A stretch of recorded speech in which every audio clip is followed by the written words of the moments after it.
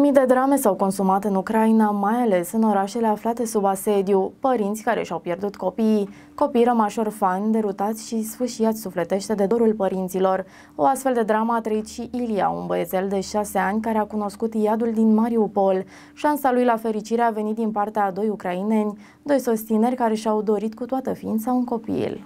Și-a pierdut ambii părinți în bombardamentele din Mariupol. Mama lui plecase de acasă spre magazin să cumpere câte ceva de mâncare. A fost surprinsă de un bombardament și nu a avut nicio șansă de supraviețuire. Soțul ei a plecat a doua zi de dimineață să o caute. A avut același sfârșit când rușii au lovit strada cu o rachetă. În urma lor a rămas să îi aștepte copilul, un băiețel de șase ani care abia înțelegea ce se întâmplă în jurul lui. A fost luat de către vecini, iar trei săptămâni le-a trăit cu inima cât un purice în bezna unui subsol. Înainte de izbucnirea războiului, Vladimir, un muncitor feroviar în vârstă de 27 de ani și soția lui Maria, se pregăteau să adopte un copil. Munceau, strângeau bani, aranjau casa pentru copilul despre care știau sigur că le va intra la un moment dat în casă. Războiul însă le-a frânt toate speranțele, nu pentru mult timp. În luna aprilie, un voluntar aflat în Mariupol i-a contactat. E un băiețel fără părinți, ați putea avea grijă de el, a povestit Maria unui reporter CNN. M-a început fericirea lor. Așa l-au cunoscut pe micuțul Ilia. I-a fost atât de foame încât a început să-și mănânce jucăriile. Bărbații consumau alcool, iar copiii acelor vecini îl agresau. Era înfometat și înghețat, a povestit ea pentru CNN, pătrunsă de emoție. Acum Ilia are o nouă familie. Odată întorși la Kiev, au trecut printr-un proces complex de patru luni pentru a deveni tutorii legali al lui Ilia, proces care a presupus discuții cu terapeuți, multe vizite la medic, verificări ale poliției și o cercetare cercetare guvernamentală pentru a se asigura că băiatul nu are alte rude în viață. Diferiți donatori au contribuit la furnizarea sprijinului financiar care a permis familiei să găsească o casă confortabilă, relatează Digi24.ro.